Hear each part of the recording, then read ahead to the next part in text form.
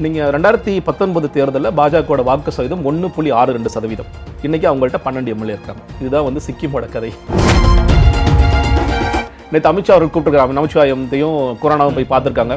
அடுத்து என்னவா இருக்க போதுங்கிற தெரியல இன்னொரு பக்கம் கிரண்பேடி வந்து மறுபடியும் அழைக்கப்பட்டு இன்னைக்கு தமிழிசை வந்திருக்கிறாங்க. அதெல்லாம் பார்க்கும் பொழுது ஒரு குழப்பமான சூழல் வந்திருக்குனாலும் காங்கிரஸ்க்கு மிகப்பெரிய பின்னடைவு தான் இதை நம்ம பார்க்கணும். பேசாமல் அமைதியாக இருந்தது பார்த்தீங்கன்னா ஓபிஎஸ் தான் ஒரு குற்றச்சாட்டு இருந்துச்சு. ரொம்ப அமைதியா இருக்காங்க அப்படின்னு. ஆனா அவருக்கு வந்து சொல்றாரு ஜெயலலிதா அம்மையாருடைய ஆட்சியை சிறப்பாக தொடர் எடப்பாடி பழனிசாமின்னு மோடி வந்து போன பிறகு சொல்றாரு அப்படின்னா மோடியும் ஓபிஎஸும் என்ன பேசியிருப்பாங்க?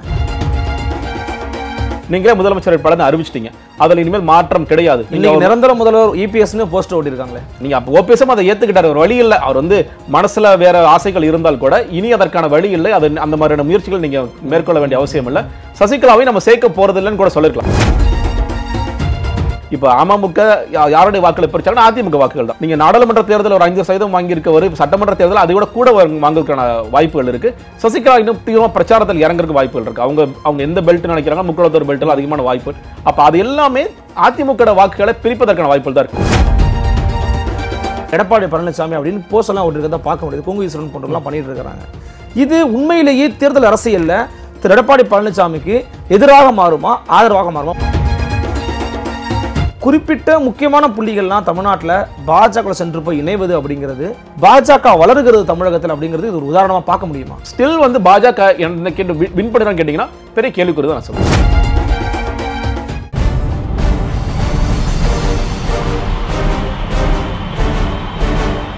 தமிழின் நம்பர் ஒன் அரசியல் யூடியூப் சேனலான ஆதன் தமிழ் நேயர்களுக்கு அன்பு வணக்கங்கள்.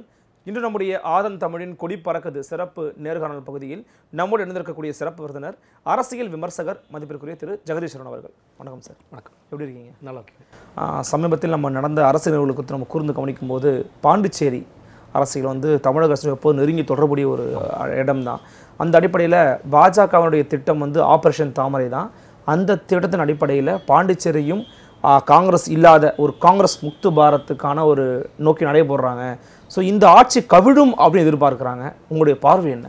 நிச்சயமாங்க நீங்களே சொன்ன மாதிரி பாஜக வந்து பல மாநிலங்களையும் பல யுக்திகளை கைப்பற்றுறாங்க. இப்போ வந்து நீங்கள் நார்த் ஈஸ்டர்ன் ரீஜன்ஸ்லாம் பார்த்தீங்கன்னா சிக்கிம் மாநிலங்கள் வரலாறுலாம் எடுத்து பார்த்தீங்கன்னா இப்போ பிரேம்குமார் சாம்லிங் வந்து ஐந்து தடவை சிஎம் இருந்தார். இன்றைக்கி அவரோட நிலம் என்னன்னு கேட்டிங்கன்னா அப்போசிஷனில் அவர் ஒருத்தர் மட்டும்தான் இருக்கார். பதினஞ்சு சீட்டு ஜெயிச்சாங்க. அதில் வந்து பன்னெண்டு பேரில் பத்து பேரை இந்த பக்கம் தூக்கிட்டாங்க பாஜக. ரெண்டு பேர் வந்து ஆளுங்கட்சிக்கு போய் கரண்ட் இருக்க ஆளுங்கட்சிக்கு போகிறாங்க நீங்கள் ரெண்டாயிரத்தி பத்தொன்பது தேர்தலில் பாஜகவோட வாக்கு சதவீதம் ஒன்று புள்ளி ஆறு ரெண்டு சதவீதம். இன்னைக்கு அவங்கள்ட்ட பன்னெண்டு எம்எல்ஏ இருக்காங்க. இதுதான் வந்து சிக்கிமோட கதை. ஸோ இந்த மாதிரி ஒவ்வொரு ஊர்லேயும் ஒவ்வொரு யுக்தி. இது வந்து எனக்கு தேர்தல் முடிந்ததுக்கப்புறம் தூக்குறது இங்கே தேர்தலுக்கு முன்னாடியே தூக்குறது அப்படின்னு ரெண்டு யுக்தியிலையும் பண்ணுறாங்க அவங்க. இது வந்து ஜனநாயகத்திற்கு விரோதமான கிடையாது நிச்சயமா விரோதம் தான். ஆனால் இப்போ நிறைய பேர் சொல்கிறாங்க என்ன சொல்கிறாங்கன்னா all is fair in love and war காதலிலும் போரிலும் எது வேணாலும் செய்யலாம் அப்படிங்கிற மாதிரி இப்போ அதை வந்து அரசியலும் சேர்த்துட்டாங்க. என்ன வேணாலும் செஞ்சு அரசியலை என்ன வேணாலும் பண்ணலாம் அப்படிங்கிறது மாதிரி ஆயிடுச்சு. அப்படி பார்க்கும் பொழுது காங்கிரஸ் முக்து பாரத் அதாவது காங்கிரஸ் இல்லாத பாரதம் மட்டும் இல்லை எதிர்க்கட்சிகளே இல்லாத பாரதத்தை நோக்கி போயிட்டு இருக்காங்க ஏன்னா இப்போ நார்த் ஈஸ்டர்னில் காங்கிரஸ்லாம் பெரிய வலு இல்லாமல் தான் இருந்தாங்க. இப்போ எல்லா மாநில கட்சிகளை கூட காலி பண்ணி நம்ம கா பிஜேபி வரணும் அப்படிங்கிறதுல பார்க்குறாங்க அதில் மக்களுடைய ஆதரவும் ஓரளவுக்கு இருக்குன்னு சொல்லணும். ஏன்னா இப்போ நீங்கள் பிரதமர் மந்திரியாக மோடி அவர்கள் தேர்ந்தெடுக்கப்படுகிறார் அப்படின்னு சொன்னால் அதுக்கு பெரிய அப்போசிஷன் இல்லை. அதில் வந்து ஒரு பக்கம் ஆதரவு இருக்குது ஆனால் வெவ்வேறு முறைகளை கைப்பற்றாங்கன்னு பார்க்க பின்பற்றாங்கன்னு பார்க்குறோம். இப்போ நீங்கள் இங்கே புதுச்சேரியை பொறுத்த வரைக்கும் இப்போது காங்கிரஸ் வலுவாக இருக்கிற இரண்டு இடங்கள் பதில் ஒன்று பஞ்சாப்ல ஒன்று இருக்கிறாங்க. ஆட்சி அமைச்சிட்டு இருக்காங்க. இன்னொரு பக்கம் புதுச்சேரி தான் இருக்காங்க. அப்போ ரெண்டு இடங்களையும் எப்படி காலி செய்கிறதுங்கிறது ஆனால் இன்னைக்கு வந்து கருத்து கணிப்புகள்லாம் பார்க்கும் பொழுது அடுத்த முறை காங்கிரஸ் வந்து ஆட்சி அமைப்பதற்கான கொஞ்சம் அரித கஷ்டம் தான் அப்படிங்கிற ஒரு நிலைமை வந்துட்டுருச்சு. இன்னொரு பக்கம் திமுக காங்கிரஸ்குள்ளேயே புதுச்சேரி அரசியலை பொறுத்த வரைக்கும் ஒரு இணக்கமான சூழல் இருக்கான்னு கேட்டிங்கன்னா இணக்கமான சூழல் இல்லையோங்கிறது நமக்கு ஓகே. குறிப்பாக ஜெகத்ரட்சன் அவர்கள் பேச்சு. மேடையில் பேசும்பொழுது அவர் நான் தற்கொலை கூட செஞ்சுக்குவேன்னு சொல்லி சொன்ன பிறகு அப்போ அவங்களுக்குள்ள ஒரு இணக்கமான சூழல் இல்லையோ அப்படிங்கிற ஒன்றெல்லாம் போயிட்டு அப்போ இது எல்லாத்தையுமே வந்து பயன்படுத்துறாங்கன்னு தான் சொல்ல வேண்டியதாக இருக்கிறது. பாஜக வந்து இதை பயன்படுத்தி நீங்கள் காங்கிரஸில் இருக்கிறவங்களை இப்பயே கொண்டு கொஞ்சம் கொஞ்சமாக கொண்டு வரதுக்கு முயற்சி பண்ணுறோம் இது ஆரம்பம் வந்து போன வருஷமே ஆரம்பிச்சிருச்சு. இது வந்து முத முதல்ல தனவேலு தான் வெளியே போனார். தனவேலு வந்து ஆன்டி பார்ட்டி ஆக்டிவிட்டீஸ்னு ஆன்டி டிஃபெக்ஷன் லாவை பொறுத்தி அவர் என்ன பண்ணாருன்னா இங்கே எப்படி நம்மளுடைய எம்எல்ஏக்கள் பதினஞ்சு பேர் எங்களுக்கு எடப்பாடி பழனிசாமி பிடிக்கலன்னு சொல்லிட்டு போய் மனு கொடுத்தாங்களோ? அதே மாதிரி காங்கிரஸ் அரசாங்கத்தை தூக்குங்கன்னு சொல்லிட்டு கிரண்பேடி பார்த்து மனு கொடுத்தார். அதற்கு பிறகு இதே மாதிரி தான் கிட்டத்தட்ட அவருக்கு வாய்ப்பு வழங்கப்பட்டது. நீங்கள் வந்து உங்களுடைய இது சொல்லி அவர் கோர்ட்டுக்கு போனார். கோர்ட்டுக்கு போய் மறுபடியும் வாய்ப்பு வழங்கப்பட்டது. ஒரு சமயத்தில் இல்லை அது வாய்ப்பெல்லாம் பயன்படுத்தல. அவர் கோவிட் காரணம் சொல்லி நான் வர முடியாது வரணும்னு சொல்லி தட்டு கழிச்சிட்டே இருந்தார். அதுக்கப்புறம் சபாநாயகர் என்ன பண்ணார்? இல்லை இவர் வந்து தூக்கிட்டாங்க. அதற்கு பிறகு ஒவ்வொருத்தர் இப்போ ரொம்ப ரீசெண்டாக அதுக்கப்புறம் மல்லாடி கிருஷ்ணராவ் வந்து அவர் ரிசைன் பண்ணாரு. அது அது ஏன் ரிசைன் பண்ணாருன்னு சொல்லும்போது சில பேர் அவர் ஆந்திர அரசியலுக்கு போப்பாருன்னு சொல்லி சொல்றாங்க. இல்ல அவர் தீவிர அரசியல்கிட்ட ஒதுங்குறாங்கன்னு சொல்லி சொல்ல போறாங்க.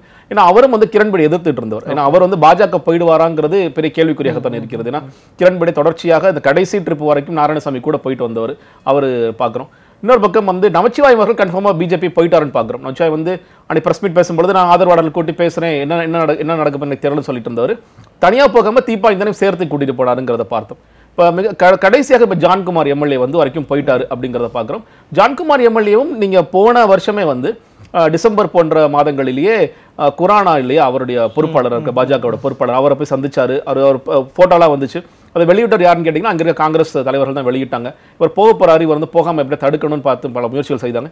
இன்னைக்கு அவர் போயிட்டாரு. இன்றைக்கி வந்து அடுத்ததாக இப்போ நீங்கள் நேற்று ராகுல் காந்தி ஒருவேளை வரலன்னா இது அடுத்தடுத்த எம்எல்ஏக்கள் கூட போறதுக்கான வாய்ப்புகள் இருந்திருக்குன்னு நான் பார்க்குறேன். ஏன்னா நேற்று அமித்ஷா அவர்கள் கூப்பிட்டுருக்காங்க நமச்சிவாயத்தையும் கொரோனாவும் போய் பார்த்துருக்காங்க.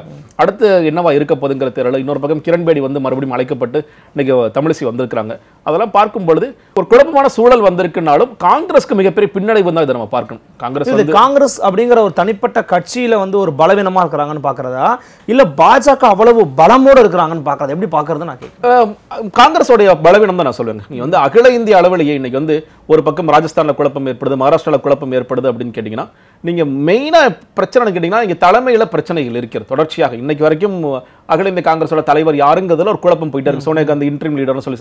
ராகுல் காந்தி ஒரு வாட்டியும் கூப்பிடுறாங்க வரமாட்டேங்கிறாரு. ராகுல் காந்தி நான் வரவே போறதுன்னு சொல்லி சொல்றாரு. அப்ப அடுத்தது சசி தரூர் வர சிதம்பரம் வர யார் வர போறாங்கன்னு ஒரு பெரிய கேள்விகள் இருந்துகிட்டே இருக்கு அவங்களுக்குள்ள.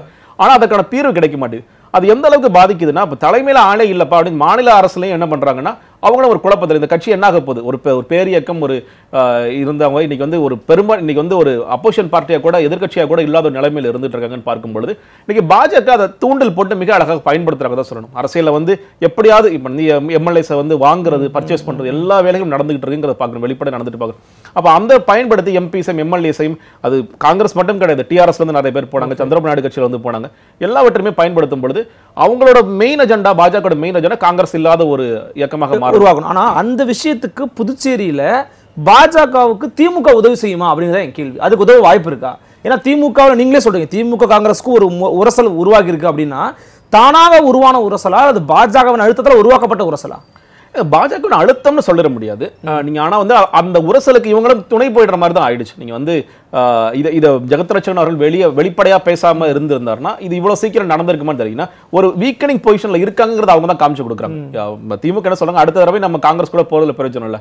நம்ம ஒண்ணு பெரிய லீடிங் பார்ட்டியா இருக்கணும். அவங்க சின்ன பார்ட்னரா இருக்கலாம். இல்ல நம்ம தனிச்சு கூட போலாம். நான் வந்து ஜெயிச்சு காட்டுவேன் ஜெகத்ராஜன் சொல்றாருன்னா காங்கிரஸ் ரொம்ப வீக்கன் ஆயிருச்சு. காங்கிரஸ்ல இனிமேல் இருக்கிறதுல பிரயோஜனம் இல்லை அப்படிங்கறத அவர் இன்டெரக்டா சொல்றாரு. இப்ப நாளைக்கு நீங்க பாஜகவால வந்து இப்ப பாஜக நமச்சிவாயம் போனாரு தீபாயந்தன் போனாரு ஜான்குமார் போனாரு. இப்ப சில பேர் நாளைக்கு திமுக கூட வரலாம். இப்ப திமுக சைடு கூட வருவதற்கான வாய்ப்புகள் இருக்கு. இப்போ ஒருவேளை கூட்டணியில் ஏதோ விரிசல் ஏற்படுது கூட விரிசல் ஏற்படாம கூட நாங்க இந்த என்ன இன்னும் சொல்ல போனா ஜான்குமாரே வந்து முதல்ல திமுக இருந்தோம் திமுக ல இருந்தா காங்கிரஸ்க்கு போன காங்கிரஸ் ஜெயிக்குதுன்னு காங்கிரஸ் பக்கம் போனார். மறுபடியும் அந்த மாதிரி சில பேர் யாராவது புதிதாக நபர்கள் வருவதற்கான வாய்ப்புகளும் இருக்கு. நீங்க திமுக வந்து அதுக்கு துணை போயிட்டாங்க அப்படிங்கிற பார்வையில தான் அது பதிவு செய்யணும். நீங்க வந்து அது- முழுக்க இவர்கள் அடிப்படையில் காரணம் இல்லாட்டியும் இந்த மாதிரி ரொம்ப வீக்கனிங் பொசிஷன்ல இருக்கிறாங்க அப்படிங்கிறது இன்னொன்னு இப்போ நீங்க காங்கிரஸ் இந்த கடந்த ஐந்தாண்டு காலத்தில் என்ன செஞ்சிருக்காங்க அப்படிங்கிறது ஒரு பெரிய கேள்விதான். நீங்க வந்து நான் அஞ்சு வருஷமா கிரண்பேடி எதிர்த்துட்டு தான் இருந்தாங்களே தவிர மக்களுக்கு என்ன செஞ்சிருக்காங்க? இப்போ நேற்று ராகுல் காந்தி அவர்கள் பேசும்பொழுது மீனவர்களை சந்திக்கிறார். நீங்க ரொம்ப பிரபலமா அதான் இன்னைக்கு வீடியோ நிறைய வீடியோஸ் போயிட்டு இருக்கு அதில் அந்த அம்மா என்ன சொல்றாங்க? இவரும் வந்து நிவர் புயல் முதல் முறை இவர் வரவே இல்லைங்க. இவர் வந்து எங்களை பார்க்கல. நாராயணசாமி நேரடியாக குற்றச்சாட்டு சொல் அவர் வேற மாதிரி தப்பா டிரான்ஸ்லேட் பண்ணி சொல்றாரு பார்க்கும் பொழுது மக்களுக்கே அந்த கோபம் இருக்கிறது. காங்கிரஸ் ஐந்து ஆண்டு காலத்துல இன்னும் சொல்லப்பட நாராயணசாமி முதல்ல எம்எல்ஏ சேம் கேண்டிடேட்டாவே இல்ல. எங்க இருந்தோ இறக்கப்படுகிறார். இப்போ அதுல இருந்தே அதிருப்தி ஆரம்பிச்சிருச்சு. இப்போ நம்ம அவர் இல்லாட்டி ஒரு நமச்சிவாயம் வந்து சிஎம் இருக்க கூட வாய்ப்புகள் கூட இருக்கு. அப்போ பல இடங்களிலும் இப்போ எப்படி ஜெகன்மோகன் ரெட்டியை வளர்த்து விட்டது யாருன்னு கேட்டிங்கன்னா நான் காங்கிரஸ் சொல்லுவேன். ஜெகன்மோகன் ரெட்டியை வந்து ஒய்எஸ்ஆர் ப- பையனை தனியாக ஏன் போறாரு? காங்கிரஸ் அவரை வந்து வளர்க்க ரெடியாக இல்லை. அவர் வந்து பெரிய ஆளாக ரெடியா வளரல ஓ புதுசாக ஒருத்தரை கொண்டு வர்றாங்க. அப்போ அவர் எதிர்த்து வர்றார். ஒவ்வொரு ஊர்களிலும் இந்த வாரிசுகளை வந்து சரியாக இனம் காணாமல் விட்டதோடைய? பலனை வந்து இன்றைக்கி வரைக்கும் அனுபவிச்சுட்டு ஒரு பக்கம் எங்களோட அவங்களோட வாரிசு வரணும்னு நினைக்கிறாங்க.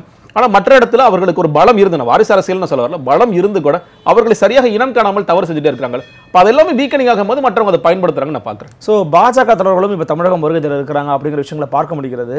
அவருடைய நோக்கம் தமிழகம் பாண்டிச்சேரி உள்ளிட்ட இடங்களில் பாஜகவை முன்னிலைப்படுத்தணும். நிறைய இடங்கள் நம்ம பெறணும் அப்படிங்கிற நோக்கமாக இருக்குது அப்படிங்கிற பட்சத்தில் தமிழக அரசியல்ல அவங்க வந்து சசிகலா அம்மையாரை பயன்படுத்தாமல் ஒரு வாதம் முன்னிச்சுட்டே இருந்தாங்க.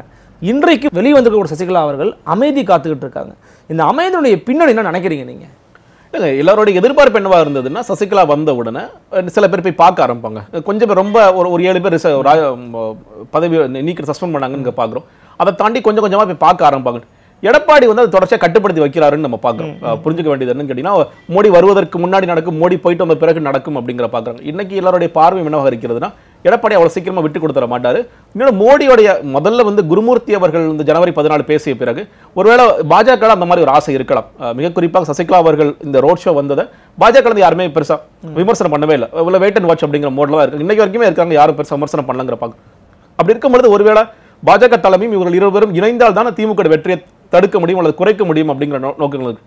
ஆனா இப்போ மோடி அவர்கள் வந்த பிறகும் கூட இன்னும் சொல்ல போனா எடப்பாடி பழனிசாமி அதற்கு பிறகு வந்து ஸ்ட்ராங்கா இருக்காரு. ரெண்டு பேரும் வந்து தட்டி கொடுத்து அந்த ரெண்டு பேரும் கைகளையும் உயர்த்தி உயர்த்தி. பார்க்குற சமிக்கைலாம் இருக்கு.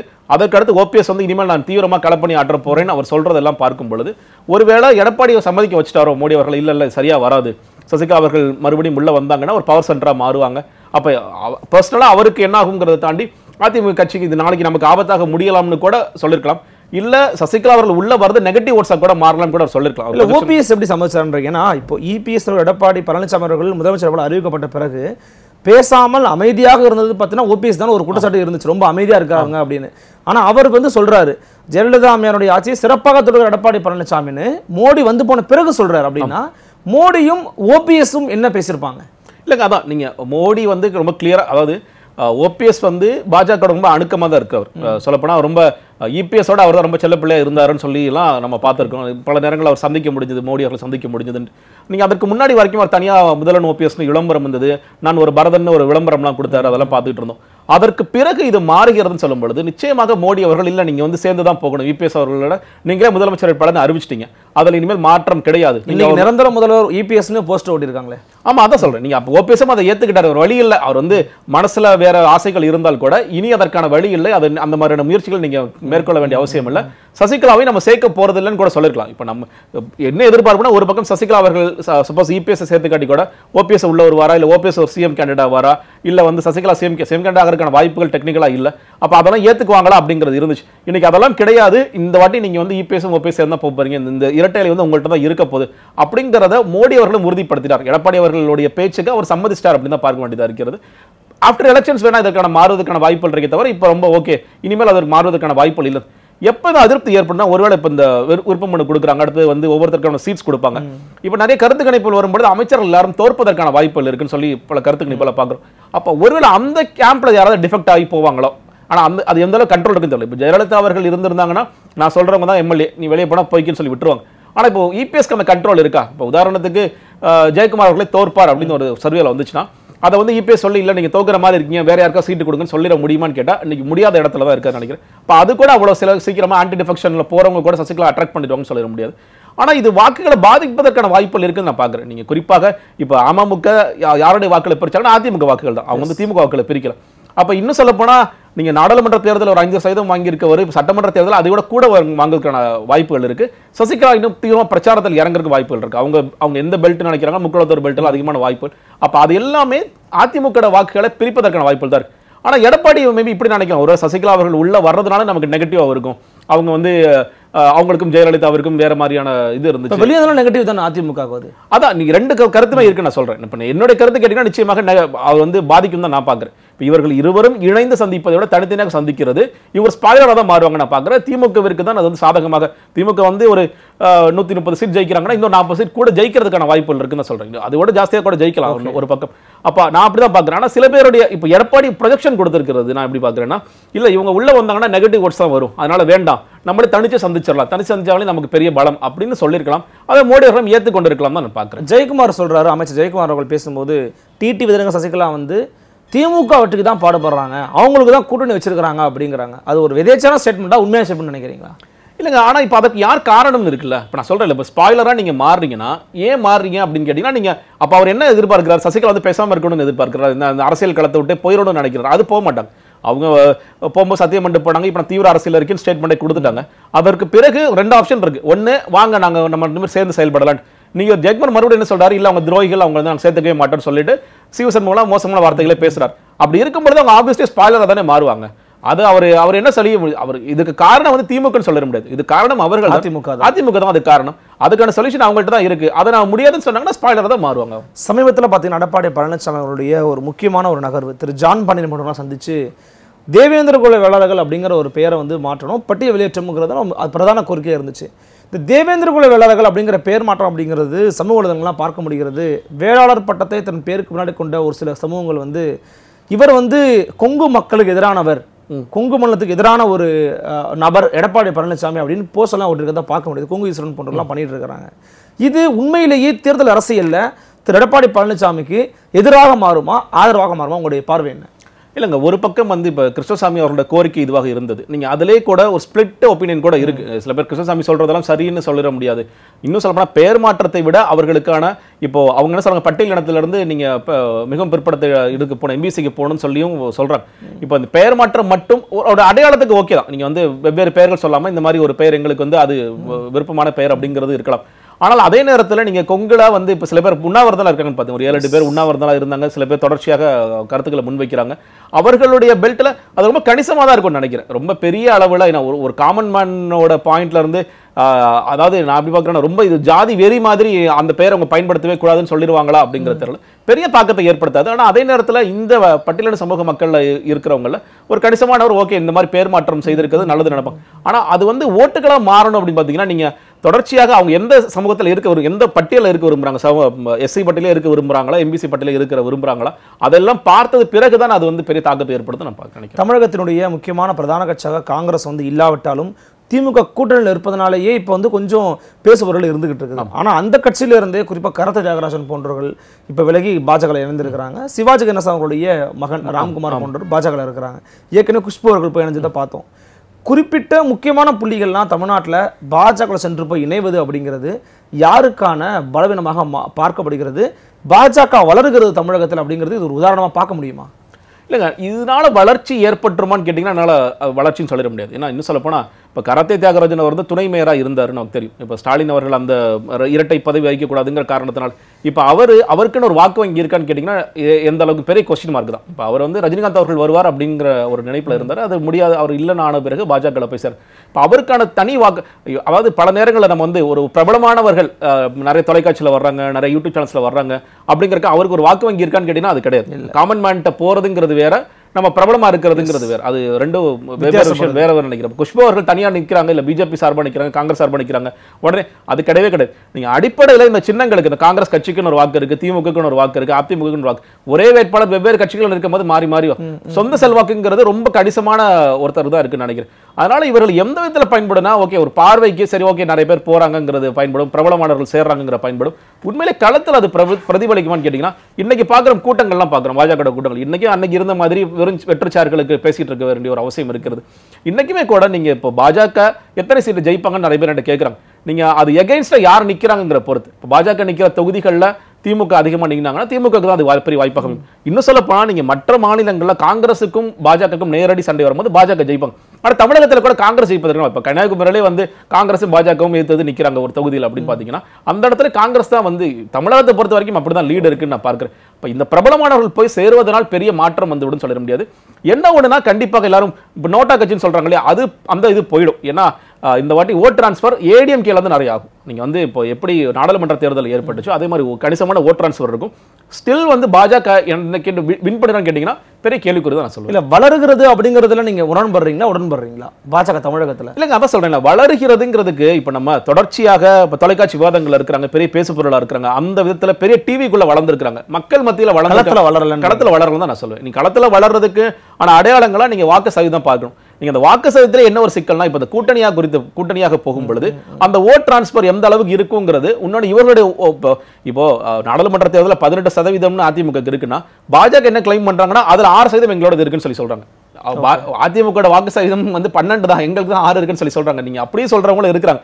ஆனா இப்போ ஓட் டிரான்ஸ்பர் எந்த அளவுக்கு இருக்குங்கிறது தெரியாது. இவங்களோட வாக்கு வங்கி என்னவாக மாறப் போகிறதுங்கிறது தெரியாது. வாக்கு வங்கி உண்மையிலே வளருது. இப்போ வந்து ஒரு ஐந்து சதவீதம் ஆறு சதவீதம் ஏழு சதவீதம் வர்றாங்கன்னா ஓகே நம்ம ஒத்துக்கலாம். சரி இதுக்கான உண்மையிலே பாஜக வளர்கிறார்கள்னு.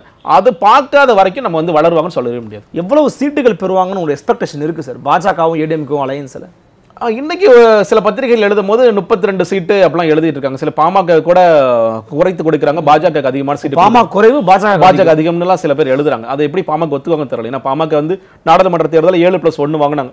ஏழு பிளஸ் அன்புமணி வாங்கினாங்க. அஞ்சு தான் வாங்கினாங்க. அப்படி இருக்கும் பொழுது பாஜக அப்படி ஒத்துக்குவாங்கன்னு தெரியல. ஆனா ஒரு டிக்டேட்டிங் இடத்துல வந்து பாஜக இருக்காங்க நம்ம சேர்த்து பார்க்க வேண்டியதா இருக்கிறது. ஏன்னா நீங்க இந்த வந்த அரசு விழாவில் வந்து நாங்க பாஜக கூட கூட்டணி போறோம்னு சொல்றது முதலமைச்சரும் துணை முதலமைச்சரும் ரொம்ப அவசரமா சொல்றாங்க அப்படின்னா அவங்க சொல்றதை கேட்டுக்கொள்ளக்கூடிய இடத்தில் தள்ளப்பட்டிருக்கிறார்கள். அதிமுக. அதிமுக தள்ளப்பட்டவர்கள் பார்க்கணும். அப்போ பாஜக வைக்கிற கோரிக்கை அதாவது அதுக்காக ரொம்ப அதிகமா அறுபது சீட்டு கொடுங்க அப்படி சொன்னா நடந்துராது. பட் ஆனா ஒரு முப்பது சீட்டு கொடுப்பதற்கான வாய்ப்புகள் இருக்குன்னு நான் பார்க்குறேன். பொறுத்து வந்து பார்க்கலாம். தமிழக அரசு எப்படி நகருகிறது அப்படிங்கிறது இந்த நேரத்தில் வந்து எங்களுடைய உங்களோட வருகையும் கருத்து பசுமைக்கு மிக்க நன்றி. அனிநபர்களே மீண்டும் ஒரு கொடி பறக்குது நேர்காணல் நிகழ்ச்சியில். மற்றும் ஒரு சிறப்பு தலைப்பில் இன்னொரு சிறப்பு ஆளுமையுடன் சந்திக்கிறேன். அதுவரை உங்களிடமிருந்து விடைபெறுவது உங்கள் அருள்மொழிவர்மன். இணைந்திருங்கள் இது உங்கள் ஆதன் தமிழ்.